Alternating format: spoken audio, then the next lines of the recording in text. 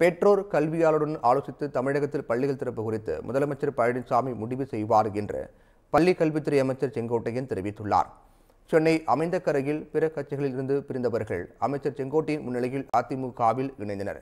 இதன் பின்னர் செய்தியாளரும் பேசிய அவர் அதிமுக மீண்டும் தேர்தல் வெற்றி பெற்று ஆட்சி அமைக்கும் என்றும் எதிர்க்கட்சிகளின் எண்ணம் பகல் கனவாக மட்டுமே இருக்கும் என்று தெரிவித்தார். இப்போது இருக்கின்ற நிலைகள் கல்லூரி திறக்கப்பட்டிருக்கிறது. இது படிப்படியாக மாணவர் மத்தியில் எப்படி மனநிலை இருக்கிறது என்பதை அறிந்ததற்கு பிறகு பெற்றோர்களும் மாணவர்கள் கல்வியாளருடைய கருத்துக்கள் அறிந்து முதலமைச்சர் அவர்கள்தான் அந்த முடிவுகளை மேற்கொள்வார்.